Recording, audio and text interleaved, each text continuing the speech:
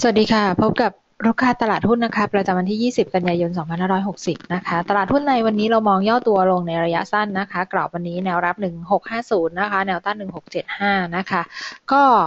คิดว่านักลงทุนในช่วงนี้อาจจะจับตาดูผลการประชุมของเฟดก่อนนะคะ ซึ่งก็เป็นการประชุม 2 วันนะคะ เริ่มไปแล้วเมื่อวานนี้นะคะ แล้วก็วันนี้ก็คงจะมีเรื่องของคอมเมนต์แล้วก็ผลการประชุมที่ชัดเจนขึ้นนะคะ สิ่งที่นักลงทุนจับตาในรอบนี้คงเป็นเรื่องของbalance sheet exit นะคะว่าเฟดเนี่ยเคยกำหนดกรอบเอาไว้คร่าวๆ แล้วว่าจะเริ่มต้นดำเนินการในปีนี้นะคะ ซึ่งทุกคนก็คาดหวังว่าในการประชุมในในครั้งนี้เนี่ยน่าจะมีความชัดเจนหรือว่ารายละเอียดรวมไปถึงขั้นตอนแล้วก็กรอบระยะเวลาออกมานะคะ ซึ่งตรงนี้ก็อาจจะเป็นจุดเปลี่ยนอันอันหนึ่งที่สำคัญนะคะที่นักลงทุนรอคอยอยู่นะคะเพราะว่ามันมีอิทธิพลต่อในเรื่องของกระแสเงินลงทุนนะคะของนักลงทุนต่างชาตินะคะว่าจะตัดสินใจว่าจะยังคงอยู่ในภูมิภาคอยู่ หรือว่าจะต้องมีบางส่วนไหลกลับเข้าไปมีบางส่วนเริ่มไหลกลับเข้าไปในตลาดหุ้นสหรัฐนะคะเพราะว่าถ้า เฟดเริ่มดำเนินการ balance sheet exit เนี่ยมันก็มันก็เป็นการเรียกเงินคืนนะคะเพราะฉะนั้นก็อาจจะต้องมีการขายทำกำไรในส่วนของการลงทุนในช่วงที่ผ่านมานะคะเพื่อเอาเงินไปคืนนะคะตามกำหนดเวลาที่ครบกำหนดชำระนะคะของอตัวพันธบัตรทั้งหลายนะคะที่ที่เฟดออกมาในช่วงของการออกมาตรการตัว QE นะคะตรงนี้เนี่ยคิดว่ามีอิทธิพลนะคะในแง่ของฟันฟลูของต่างชาติต้องบอกว่ารอบนี้เนี่ยเส้นเด็กขึ้นมาสูงสุดในรอบ 23 ปีเนี่ย แรงผลักดันหลักๆ มี 2 กลุ่มนะคะ กลุ่มแรกก็คือเป็นบัญชีบลอนะคะ กลุ่มที่ 2 ก็คือต่างชาตินะคะซึ่งเข้ามาซื้อในช่วงหลัง แต่ว่าก็เริ่มที่จะลดน้อยลงนะคะ เมื่อวานนี้ก็ถือว่า ขายสุทธิออกมานะคะสำหรับในส่วนของนักลงทุนต่างชาติ แล้วก็ในส่วนของตลาดอนุพันธ์เองนักลงทุนต่างชาติถือสถานะ short อย่างต่อเนื่องนะคะ ก็เป็นเทรนที่ไม่ค่อยชัดเจนเท่าไหร่สำหรับตัว flow ที่เข้ามา แต่ว่าก็ในช่วงก่อนหน้านี้คือปลายสัปดาห์ที่แล้วก็คือเข้ามาในตลาดหุ้นค่อนข้างเยอะ sentiment ก็เลยยังดูอิงทางด้านเชิงบวกอยู่ วันนี้มันก็จะเป็นบวกที่ดูน้อยลง ถ้าต่างชาติเริ่มขยับขายในตลาดหุ้นนะคะ ส่วนตลาดอนุพันธ์เนี่ยขายสุทธิอยู่ตลอดต่อเนื่องอยู่แล้ว อีกกลุ่มหนึ่งก็คือบัญชีบลอนะคะ ซึ่งก็เคยเรียนเอาไว้แล้วว่า ต้องจับตาใกล้ชิดเพราะโดยธรรมชาติของของกลุ่มเนี่ยไม่ค่อยที่จะลงทุน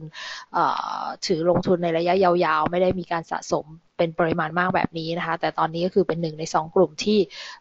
ถือซื้อตลาดหุ้นสะสมมาค่อนข้างเยอะ เพราะฉะนั้นถ้ามีเหตุการณ์อะไรที่เกิดขึ้นทำให้เกิดความเปลี่ยนแปลงในเชิงเซนติเมนต์เนี่ยกลุ่มนี้แน่นอนที่สุดว่าพร้อมที่จะขายทำกำไรออกมานะคะเพราะฉะนั้นความรุนแรงมันก็จะมีมากเช่นเดียวกับตอนที่ดีดตัวขึ้นด้วยนะคะเพราะฉะนั้นอาจจะต้องระมัดระวังนะคะนักลงทุนที่เก็งกำไรช่วงนี้เนื่องจากเซนติเมนต์โดยรวมก็ถือว่ายังคง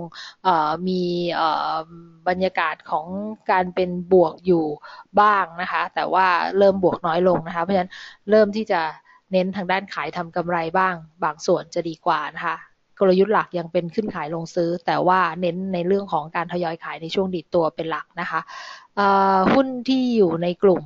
port ระยะสั้นของเรานะคะ upside momentum ที่เพิ่งสวิชตัวเซตกลุ่มเข้ามาใหม่นะคะ เมื่อวานนี้ AH AIT Sifco นะคะถือสถานะต่อก่อนนะคะเช่นเดียวกับมินนะคะ ถือต่อรอทำกำไรนะคะวันนี้เราขอตั้งซื้อ COM7เข้ามานะคะ ตัวนี้เรามองแนวโน้มผลประกอบการคาดว่าจะดีต่อเนื่องนะคะ เช่นเดียวกับมินนะคะ ก็ถือถือมินนะคะ ซื้อเก่งกำไรคอมเซเว่นเข้ามาสวิชเข้ามาแทน MTLS กับ CPO ที่อยู่ในกลุ่มที่เรามองเรื่องของผลกำไรที่น่าจะดีนะคะ แต่ว่า MTLS กับ CPO เราถือมาระยะหนึ่งแล้ว แล้วก็ได้กำไร ไประดับหนึ่งนะคะ เราคิดว่าตั้งขาย lock profit เอาไว้ก่อนนะคะ ตาม strategy ที่เรากำหนดไว้นะคะ ก็ MTLS นะคะกับ CPO นะคะ ขอเทคออกที่ 34.25 กับ 65.25 ตามลำดับนะคะ ก็ได้กำไรประมาณ 5-6%นะคะ ทั้ง 2 ตัวนะคะส่วนตัวสุภาลัยนะคะ ตัวนี้เราถือบนประเด็นในเรื่องของลุ้นยอดจองโครงการใหม่นะคะ ซึ่งก็ดูเหมือนว่าจะทำได้ค่อนข้างดีทีเดียวนะคะ ยอดจองที่ฝั่งทนนะคะ ก็ยังคงให้ถือต่อ รอทำกำไรได้หลังจากที่รับตัววอลเลนไปแล้วนะคะ XW ไปเรียบร้อยแล้วนะคะ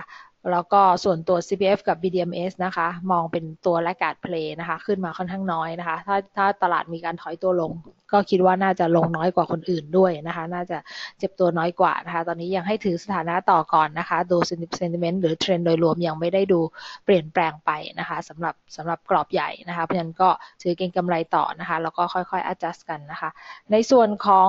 หุ้น cash balance นะคะ ที่ครบเกณฑ์แล้วยังเป็น 2 ตัวเดิมนะคะ นกกับนกวอนหนึ่งนะคะ ส่วน ตัวที่มีโอกาสติดก็ยังเป็นตัวเดิมนะคะ ICN ค่ะ ส่วนหุ้นติดชาร์ตนะคะ วันนี้เสนอหุ้นเพิ่มหนึ่งตัวคือตัว KKP นะคะ ให้น้ำหนักการลงทุน 2 ดาวเข้าซื้อที่ 68 นะคะ รอทำกำไรที่ 71 ตัดขาดทุนที่ 66.5 นะคะ ตัวนี้เนี่ยมองในเชิงเทคนิคนะคะ ที่ recommend เข้ามาจากการวกตัวขึ้นมาจากฐานนะคะ แล้วก็การพักตัวรอบนี้เนี่ยจึง